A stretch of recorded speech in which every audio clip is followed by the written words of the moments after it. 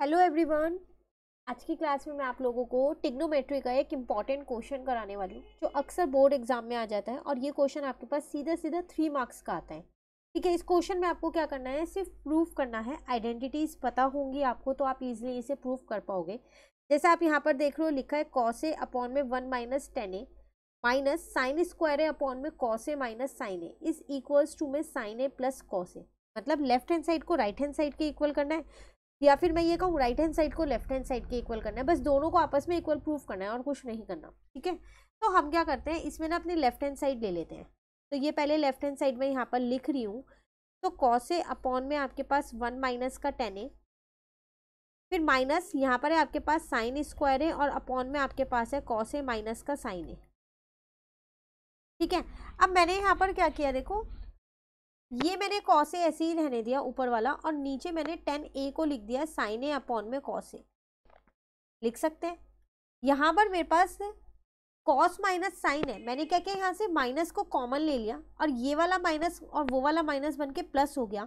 यहाँ आ जाएगा साइन स्क्वायर है और अपॉन में आ जाएगा आपके पास साइन है माइनस का कॉस है सिर्फ़ मैंने इन टर्म्स को इंटरचेंज किया तो माइनस वो कॉमन आ गया और वो बाहर वाला माइनस प्लस बन गया और कुछ नहीं किया।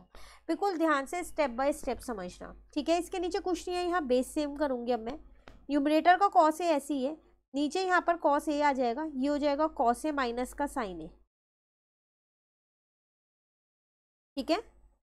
प्लस यहाँ पर मैंने साइन स्क्वायर है और अपॉन में साइन ए माइनस कॉस है ऐसे ही लिख रखा अभी, इसमें कोई भी चेंज नहीं किया है। अब ये नीचे वाला जो कॉस है, ये ऊपर जाएगा तो इसके साथ मल्टीप्लाई हो जाएगा तो ये हो जाएगा कॉस स्क्वायर ए। अपॉन में यहाँ पर आ जाएगा कॉस ए माइनस का साइन ए। प्लस यहाँ पर आ जाएगा साइन स्क्वायर ए, और यहाँ पर आपके पास आ जाएगा साइन ए माइनस का कॉस ए। ठीक है? अब अगर आप यहाँ देखें तो दोबारा वही चीज़ है, कॉस और साइन है तो आप ऐसा करो, वो वापसी कर दो। आप चाहो इसमें दोबारा मैंने क्या किया, यहाँ पर माइनस को कॉमन ले लिया। ये हो गया मेरे पास साइन स्क्वायर है अपॉन में यहाँ आ जाएगा कॉस ए माइनस का साइन है ठीक है?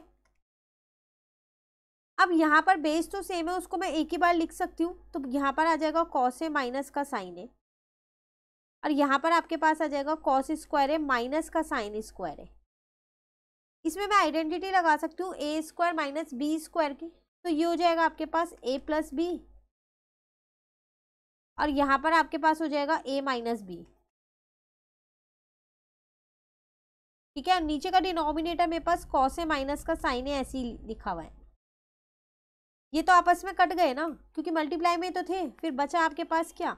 यहाँ पर कॉस ए प्लस का साइन है क्वेश्चन में आपको प्रूफ क्या करना था? कॉस ए प्लस का साइन ए ही तो प्रूफ करना था। हो गया ये प्रूफ क्लियर तो ये क्वेश्चन है जो आपके पास अक्सर बोर्ड एग्ज़ाम में थ्री मार्क्स के में आता है ये क्वेश्चन तो बिल्कुल अच्छे से स्टेप बाय स्टेप कर लेना, कहीं भी दिक्कत लगे तो कमेंट करके पूछ लेना। टिग्नोमेट्री के और भी इंपॉर्टेंट क्वेश्चन हमने कर रखे हैं।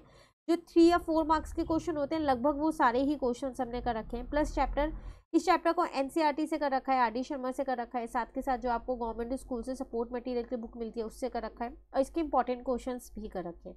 सबकी प्ले बनी हुई है चैनल पर अपलोड है, आप वहाँ से कर सकते हैं। Thank you